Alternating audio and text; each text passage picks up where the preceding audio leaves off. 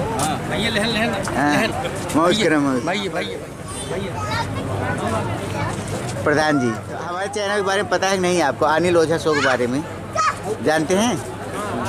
चलिए ठीक है। उस पर हम डालेंगे आपका ये वीडियो। यहाँ पर देखिए बहुत सारे गणमान्य व्यक्ति। भैया मजमा सा लगा हुआ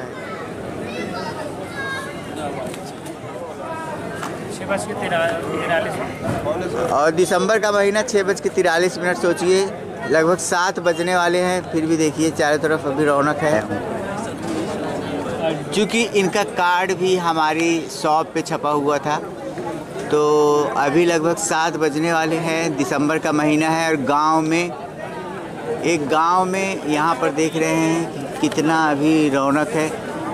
और इन्होंने 2000 कार्ड छपवाए थे तो सोचिए 2000 कार्ड के माध्यम से कितने लोग इनकी तेरहवीं में शामिल हुए होंगे। सिटी मारो कर सीट के लिए भी मारा मारी है कुछ लोग। इस वीडियो को बनाने का उद्देश्य बस यही था कि प्रतापगढ़ की कुछ जो चीज़ें हैं वो आप लोगों को दिखाने के उद्देश्य से लोग विदा हो रहे हैं। और हम बीरू दादा बीरू दादा के सुपुत्र। कुछ है सब उन्हीं का है। क्या हैं। अपना नाम बता दीजिए। प्रभाकर कितना परिवार है परिवार हमारे परिवार में दो भाई हैं तीन बहन। अच्छा, ये है वीरू दादा। आप देख लीजिए इनको। अनिल यहाँ पर देख रहे हैं। सभी अपने अपने।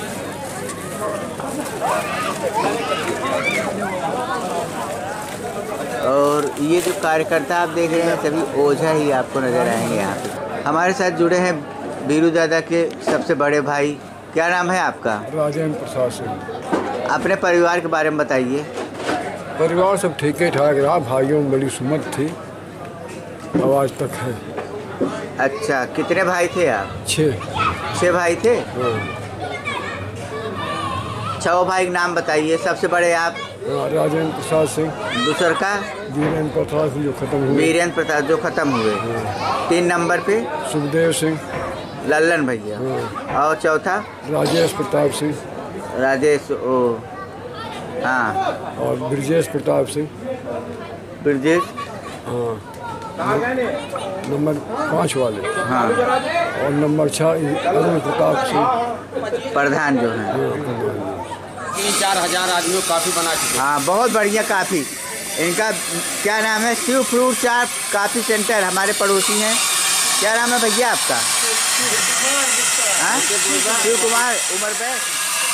और बहुत सारे लोग हैं। क्या? और हमारे वैसे रिश्ते में तो हमारे बेटे लगते हैं। विमल भाई कैसे हैं आप? एकदम बढ़िया एकदम समझ नहीं तो टाइम जा। अनिल ओझा सो। चलिए ठीक है। ये अरविंद भाई तो बीरू दादा के बारे में दो शब्द बताइए। वीरू दादा जैसा व्यक्तित्व तो मिलना बहुत मुश्किल है।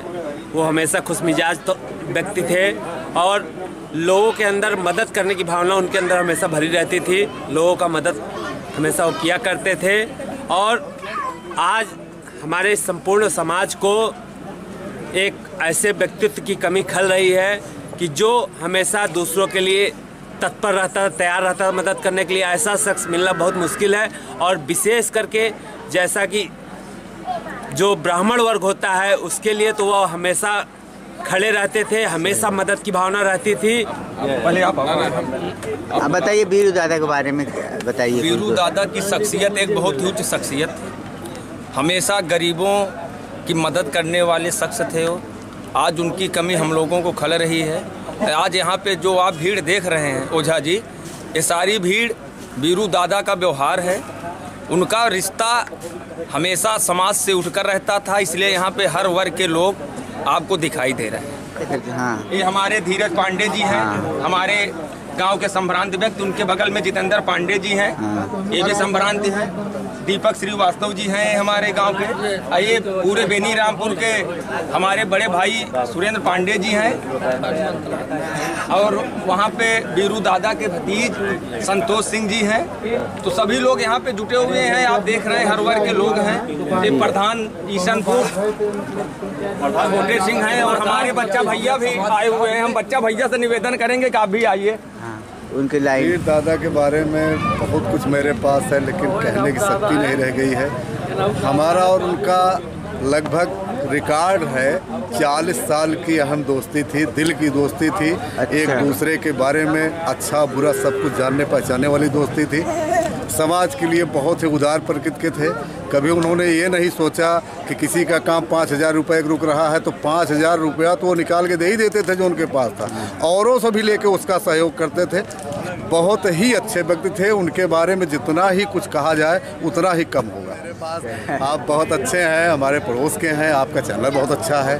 पर हमारे हाँ, राकेश चंद्र शुक्ला जी। जी, जी, जी। सर वीरू दादा के बारे में कुछ बताइए दो शब्द। वीरू दादा बहुत अच्छे इंसान थे हम लोगों के बहुत ही अज़ीज़ दिन थे वो हम लोगों के लिए हरदम तत्पर रहते थे जहाँ भी उनकी जो ज़रूरत पड़ती थी वो हरदम सदैव हम लोगों के बगल खड़े रहते थे।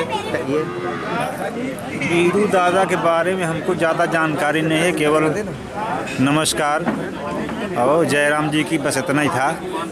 और लोग कहते हैं कि भाई सामाजिक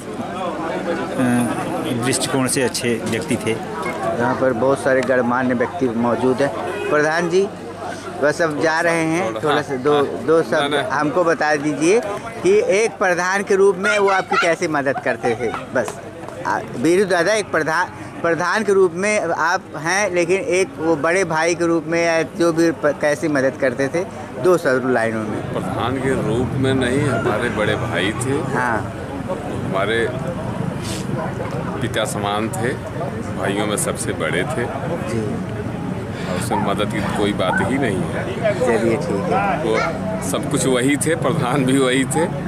हम लोग तो उनके नीचे रह के काम किया करते थे बस। जी जी। अच्छा हाँ लास्ट क्वेश्चन कितने लोग भोजन कर लिए होंगे? तो आप शुरू से ही देख रहे हैं। अरे नहीं फिर भी आप चूँकि आपके मार्गदर्शन में सब कुछ हो रहा है तो कुछ बताएँगे कितने लोग? सबसे आ, आप लोगों से पूछिए हम नहीं, तो यहाँ गेट पे खड़े होकर देख भी रहे हैं। नहीं हाँ, नहीं। नहीं नहीं। हाँ, ये और लोग अच्छा अच्छा भैया ये बताइए कितने लोग भोजन कर लिए होंगे आपके हिसाब से एक अंदाज़ा? हमारे हिसाब से चार हज़ार के आदमी के ऊपर कर चुके हैं दो हज़ार अभी आने वाले हैं। अच्छा।